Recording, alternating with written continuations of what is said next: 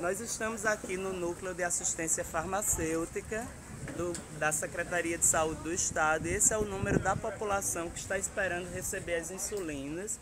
Insulina Novo Rápido, insulina Lantus, né?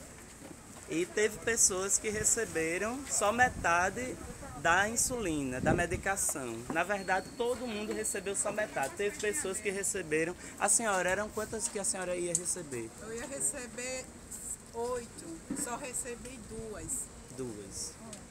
Pois é, e a senhora? Eu ia receber quatro, só recebi duas Mas e faz duas dizer- semanas que eu tô sem insulina.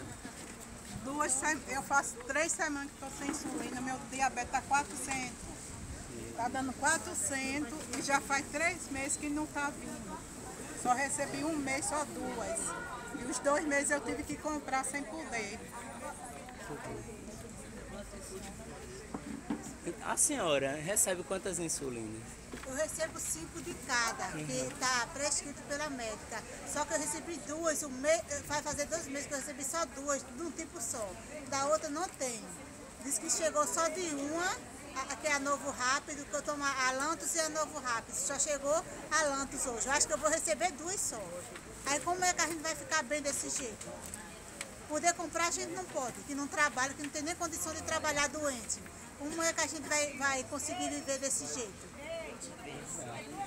É a negação de direitos, né, pessoal? Vamos denunciar o Ministério Público ou vamos ficar calados? Vamos denunciar! Vamos denunciar, por, por favor, é direito universal à saúde que está na Constituição Federal. É verdade. Isso aqui vai para as mídias.